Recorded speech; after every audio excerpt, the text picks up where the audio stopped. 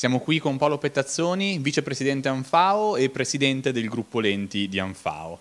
Ed è proprio in questa veste che eh, le chiediamo subito di farci un quadro dello stato di salute, come sta il mercato delle lenti in Italia. Ma il mercato delle lenti in Italia beh, intanto riflette quello che è l'andamento generale del, del, del mercato italiano il mercato delle lenti in particolare è un mercato che anche nel 2011 si è dimostrato sostanzialmente stabile nei confronti dell'anno precedente, sia in termini di volumi, di quantità vendute, sia in termini di fatturato.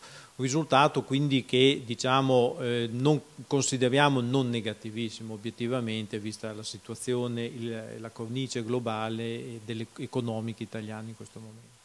Bene, quindi uno stato del mercato chiaro, meno chiaro forse il futuro, quali sono le leve su cui lavorare per avere prospettive migliori rispetto al passato, la sua opinione? Ma eh, certamente, allora, intanto questo 2012 è chiaro che sarà un anno particolare ed veramente complicato fare delle previsioni vista la situazione generale economica italiana, ma non solo italiana e europea. Chiaramente ci proviamo lo stesso, vogliamo essere ottimisti, ecco, quindi nel senso che pensiamo che comunque l'Italia sia in grado di superare questo momento di difficoltà e che quindi anche i consumatori italiani continuino diciamo, quello che è il loro trend abituale in termini di acquisti.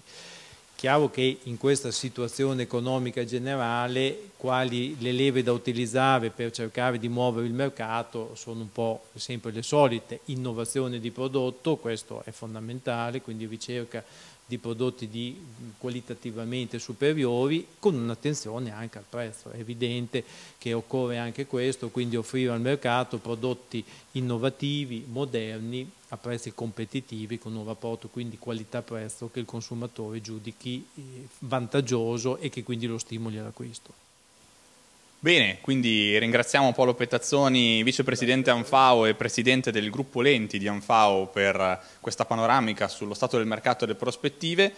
Tra pochi giorni abbiamo detto c'è il Mido, ci rivediamo tutti quanti a Mido, in bocca al lupo. Crepi, grazie a voi.